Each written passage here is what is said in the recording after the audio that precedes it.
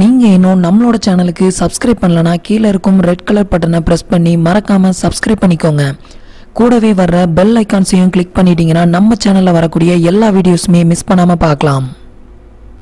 Friends இன்றைக்கி நம்ம சேனலில் ஒரு யூஸ்ஃபுல்லான வீடியோ பற்றி பார்க்கலாம். இன்றைக்கி நம்ம சேனலில் பார்க்க போகிற வீடியோஸ் என்ன அப்படின்னு பார்த்தீங்கன்னா உங்களோட பழைய பிஎஃப் அக்கௌண்ட்டை தற்போது உள்ள பிஎஃப் அக்கௌண்ட்டோட அக்கௌண்ட்டுக்கு எப்படி ட்ரான்ஸ்ஃபர் பண்ணுறது அப்படிங்கிற டீட்டெயிலை பற்றி தான் இந்த வீடியோவில் பார்க்க போகிறோம் நீங்கள் இன்னும் நம்மளோட சேனலுக்கு சப்ஸ்கிரைப் பண்ணலாம். மறக்காமல் சப்ஸ்கிரைப் பண்ணிக்கோங்க.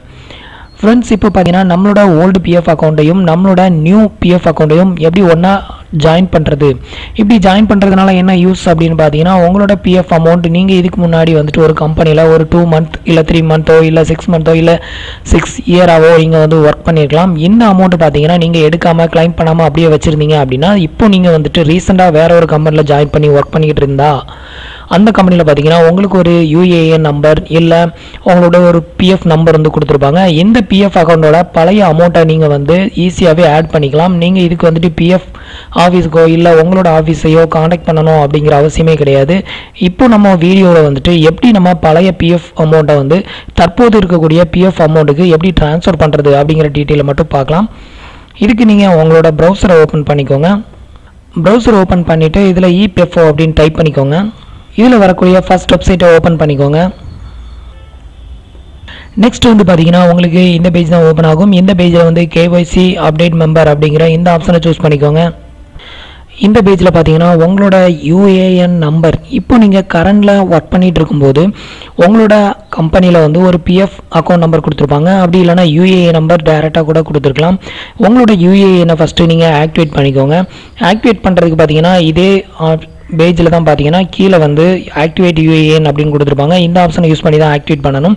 ஆக்டிவேட் பண்ணுறது எப்படி அப்படிங்கிற வீடியோ வந்து நான் ஆல்ரெடி அப்லோட் பண்ணியிருக்கிறேன். அந்த வீடியோவோட லிங்க் மற்றும் இன்னும் நிறையா பிஎஃப் அக்கௌண்ட்டை பற்றின எல்லா வீடியோவோட லிங்க்கையும் நான் வந்து கீழே இருக்கிற டிஸ்கிரிப்ஷனில் கொடுக்குறேன். நீங்கள் தேவைன்னா அதில் போய் அந்த வீடியோவை தெரிஞ்சுக்கோங்க. நெக்ஸ்ட் வந்துட்டு பார்த்தீங்கன்னா இந்த ஆப்ஷனில் போயிட்டு உங்களோட யூஏஎன் உங்களோட பாஸ்வேர்ட் நெக்ஸ்ட்டு இதில் இருக்கிற இந்த கேப்சா கோடை இதில் என்ட்ரு பண்ணிவிட்டு உங்களோட அக்கௌண்ட்டை லாகின் பண்ணிக்கோங்க. இப்போ பார்த்தீங்கன்னா நான் வந்து என்னோட பிஎஃப் அக்கௌண்ட்டை லாகின் பண்ணியிருக்கிறேன். இது மாதிரி லாகின் பண்ணிவிட்டு நெக்ஸ்ட் என்ன பண்ணணும் அப்படின்னு பார்த்தீங்கன்னா உங்களோட பழைய யூஏஎன் நம்பரை வந்துட்டு பழைய பிஎஃப் அக்கௌண்ட்டில் வந்துட்டு உங்களுக்கு ரிலீவிங் டேட் வந்து அப்டேட் பண்ணிட்டாங்களா இல்லையா அப்படிங்கிறத ஃபஸ்ட்டு நீங்கள் தெரிஞ்சுக்கணும். இதுக்கு நீங்கள் பழைய பிஎஃப் அக்கௌண்ட்டையும் நீங்கள் ஆக்டிவேட் பண்ணியிருக்கணும்.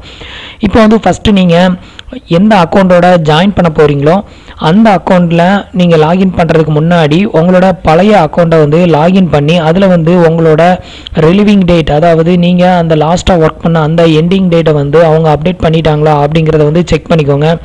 இதுக்கு பார்த்தீங்கன்னா வியூ அப்படிங்கிற இந்த ஆப்ஷனில் போயிட்டு நீங்கள் வந்துட்டு சர்வீஸ் ஹிஸ்ட்ரி அப்படிங்கிற ஆப்ஷனை வந்து சூஸ் பண்ணிக்கோங்க. நெக்ஸ்ட் பார்த்தீங்கன்னா உங்களுக்கு இது மாதிரி தான் பேஜ் வந்து ஓப்பன் ஆகும். நீங்கள் வந்து லாஸ்ட்டாக ஒர்க் பண்ண அந்த கம்பெனியில் வந்து அவங்க எண்டிங் டேட்டை வந்து அப்டேட் பண்ணியிருக்கணும் இப்போ பார்த்தீங்கன்னா என்னோட அக்கௌண்ட்டில் வந்து நான் எனக்கு வந்து எண்டிங் டேட் இன்னும் அப்ளை பண்ணலை அப்டேட் பண்ணலை. உங்களோட கம்பெனி அதாவது நீங்கள் இதுக்கு முன்னாடி ஒர்க் பண்ணிவிட்டு அந்த கம்பெனியை விட்டு நின்று ஒரு த்ரீ மந்த்துக்கு அப்புறம் பார்த்தீங்கன்னா அவங்க வந்து இந்த எண்டிங் டேட்டை வந்து அப்டேட் பண்ணுவாங்க ஆன்லைனில் இந்த எண்டிங் டேட் வந்து அப்டேட் பண்ணிட்டாங்களா அப்படின்னு சொல்லி உங்களோட பழைய யூஏனை லாகின் பண்ணி இந்த பேஜை வந்து செக் பண்ணிக்கோங்க. இந்த எண்டிங் டேட்டை வந்து அவங்க அப்டேட் பண்ணிட்டாங்க அப்படின்னா தான் நீங்கள் வந்துட்டு உங்களோட அக்கௌண்ட்டை வந்து இப்போ நீங்கள் ஒர்க் பண்ணக்கூடிய அந்த கம்பெனியில் கொடுத்த பிஎஃப் அக்கௌண்ட்டுக்கு வந்து ட்ரான்ஸ்ஃபர் பண்ணிக்க முடியும். இதை வந்து நீங்கள் செக் பண்ணிவிட்டு அதுக்கப்புறமா நீங்கள் வந்து ட்ரான்ஸ்ஃபர் பண்ணுறது நல்லது. உங்களுக்கு எண்டிங் டேட் அப்ளை பண்ணலை அப்டேட் பண்ணாமல் இருந்தது அப்படின்னா நீங்கள் வந்து மூவ் பண்ணிக்கவே முடியாது. அவங்க எண்டிங் டேட் என்னைக்கு அப்டேட் பண்ணுறாங்களோ அன்றைக்கி தான் நீங்கள் வந்துட்டு பழைய அக்கௌண்ட்டுக்கு மூவ் பண்ண முடியும். அப்படி இல்லைனாலும் கிளைம் பண்ணணும் அப்படின்னாலும் உங்களுக்கு இந்த எண்டிங் டேட் வந்து கண்டிப்பாக தேவைப்படும். ஸோ அந்த எண்டிங் டேட்டை வந்து அப்டேட் பண்ணிட்டாங்களா அப்படின்னு நீங்கள் அடிக்கடி செக் பண்ணிக்கோங்க. நெக்ஸ்ட் வந்து இப்போது நம்ம பழைய அக்கௌண்ட்லேருந்து புது அக்கௌண்ட்டுக்கு எப்படி மூவ் பண்ணுறது அப்படின்னு பார்த்தீங்கன்னா உங்களுடைய பழைய அக்கௌண்ட்டில் இந்த எண்டிங் டேட்டை வந்து அவங்க வந்து அப்டேட் பண்ணிட்டாங்க அப்படின்னா நெக்ஸ்ட் நீங்கள் உங்களோட புது கம்பெனியில் கொடுத்த அந்த யூஏஎன் லாகின் பாஸ்வேர்டை யூஸ் பண்ணி நீங்கள் வந்து உங்களோட அக்கௌண்ட்டை இது மாதிரி லாகின் பண்ணிக்கோங்க. லாகின் பண்ணிவிட்டு நெக்ஸ்ட்டு ஆன்லைன் சர்வீஸ் அப்படின்னு ஒரு ஆப்ஷன் கொடுத்துருப்பாங்க. இந்த ஆப்ஷனில் போயிட்டு கிளிக் பண்ணிக்கோங்க. இந்த ஆப்ஷனில் கிளிக் பண்ணீங்க அப்படின்னா உங்களுக்கு one member one PF account transfer request அப்படின்னு ஒரு ஆப்ஷன் கொடுத்துருப்பாங்க. இந்த ஆப்ஷனை யூஸ் பண்ணி தான் உங்களோட பழைய பிஎஃப் அக்கௌண்ட் பணத்தையும் பழைய பிஎஃப் அக்கௌண்ட்டையும் தற்போது உள்ள பிஎஃப் அக்கௌண்ட்டுக்கு நீங்கள் ட்ரான்ஸ்ஃபர் பண்ணிக்க முடியும். இந்த ஆப்ஷனை வந்து கிளிக் பண்ணிக்கோங்க. இந்த ஆப்ஷனை கிளிக் பண்ணதும் பார்த்தீங்கன்னா உங்களோட ஃபுல் டீடைல் வந்து ஓப்பன் ஆகும். உங்களோட ப்ரொஃபைல் டீடைல் கரண்டில் நீங்கள் ஒர்க் பண்ணுற கம்பெனி அந்த கம்பெனி பற்றின டீடைல் எல்லாமே பார்த்தீங்கன்னா இந்த பேஜில் வந்து ஓப்பன் ஆகும். இன்ஸ்ட் பேஜில் உங்களுக்கு இது மாதிரி தான் வந்து ஆப்ஷன்ஸ் ஓப்பன் ஆகும். இந்த பேஜில் வந்துட்டு உங்களோட ப்ரொஃபைல் டீடைல் நீங்கள் கரண்டில் ஒர்க் பண்ணுற கம்பெனி பற்றின அட்ரஸ் டீடைல் எல்லாமே ஓப்பன் ஆகும். இந்த பேஜில் நீங்கள் பண்ண வேண்டிய ரெண்டே ரெண்டு டீடைல் மட்டும்தான். இது ஃபஸ்ட்டு வந்து நீங்கள் ப்ரீவியஸ் எம்ப்ளாயர்ஸ் அப்படிங்கிறத வந்து சூஸ் பண்ணிக்கோங்க. ஏன்னா நீங்கள் வந்து பழைய கம்பெனியில் ஒர்க் பண்ண அக்கௌண்ட்டை தான் நீங்கள் வந்துட்டு இப்போ இருக்கிற கம்பெனியில் வந்து மூவ் பண்ண போகிறீங்க ஸோ வந்து ப்ரீவியஸ் எம்ப்ளாயர் அப்படிங்கிறத சூஸ் பண்ணிவிட்டு நெக்ஸ்ட் நீங்கள் என்ன பண்ணணும் அப்படின்னு பார்த்தீங்கன்னா உங்களோட யூஏஎன் நம்பர் அதாவது இதுக்கு முன்னாடி நீங்கள் ஒர்க் பண்ண கம்பெனியில் கொடுத்த யூஏஎன் நம்பர் அதை வந்து இதில் என்ட்ரு பண்ணிக்கணும். நான் அப்படி இல்லை அப்படின்னா இன்னொரு ஆப்ஷன் பார்த்தீங்கன்னா அவரோட மெம்பர் ஐடி மெம்பர் ஐடினா எது அப்படின்னு பார்த்தீங்கன்னா உங்களோட சர்வீஸ் ஹிஸ்டரியை கொடுத்துருப்பாங்க. இதுதான் அந்த மெம்பர் ஐடி நீங்கள் வந்து உங்களோட எண்டிங் டேட் அப்டேட் பண்ணிட்டாங்களா இல்லையா அப்படின்னு செக் பண்ணுறதுக்கு நீங்கள் அந்த அக்கௌண்ட்டை லாகின் பண்ணீங்க அப்படின்னா அந்த அக்கௌண்ட்டில் பார்த்தீங்கன்னா உங்களுக்கு மெம்பர் ஐடி அப்படின்னு ஒரு ஆப்ஷன் கொடுத்துருப்பாங்க. இந்த ஆப்ஷனில் பார்த்தீங்கன்னா டிஎன்எம்ஏஎஸ் அப்படிங்கிற மாதிரி ஒரு நம்பர் கொடுத்துருப்பாங்க. இதுதான் அவங்களோட மெம்பர் ஐடி நம்பர் இந்த மெம்பர் ஐடியை வந்து காப்பி பண்ணிக்கோங்க. காப்பி பண்ணிவிட்டு மறுபடியும் வந்துட்டு இல்லை எழுதி வச்சுக்கோங்க. எழுதி வச்சுட்டு இப்போ வந்து புது யூஏஎனை நீங்கள் வந்து லாகின் பண்ணிக்கோங்க. லாகின் பண்ணிவிட்டு இதில் வந்து ப்ரீவியஸ் எம்ப்ளாயர் அப்படிங்கிறதுல கிளிக் பண்ணிவிட்டு நெக்ஸ்ட் வந்து இந்த யூஏஎனுக்கு பதிலாக நீங்கள் அங்கே எடுத்த அந்த மெம்பர் ஐடி நம்பரை வந்து இதில் பேஸ்ட் பண்ணிடுங்க நீங்கள் வந்துட்டு மெம்பர் ஐடி அப்படி இல்லைனா யூஏஎன் நம்பர் இந்த ரெண்டில் நீங்கள் எதை வேணாலும் நீங்கள் சூஸ் பண்ணிக்கலாம். சூஸ் பண்ணிவிட்டு என்ட்ரு பண்ணிவிட்டு நீங்கள் வந்துட்டு கெட் டீட்டெயில் கொடுங்க. இப்போ வந்து கெட் டீட்டெயில் கொடுத்தீங்க அப்படின்னா இதில் வந்து நீங்கள் ப்ரீவியஸ் எம்ப்ளாயை வந்து சூஸ் பண்ணிக்கோங்க. சூஸ் பண்ணிவிட்டு கெட் எம் கெட் டீட்டெயில் அப்படி கொடுத்தீங்க அப்படின்னா இப்போ வந்து பார்த்தீங்கன்னா எனக்கு வந்து no previous employee details through அப்படின்னு வருது. ஏன்னு பார்த்தீங்கன்னா நான் வந்து இப்போ கரண்டில் ஒர்க் பண்ணிட்டு இருக்கிறேன். என்னோட நம்பரை சாம்பிளுக்காக நான் வந்து என்ட்ரு பண்ணியிருக்கிறேன்.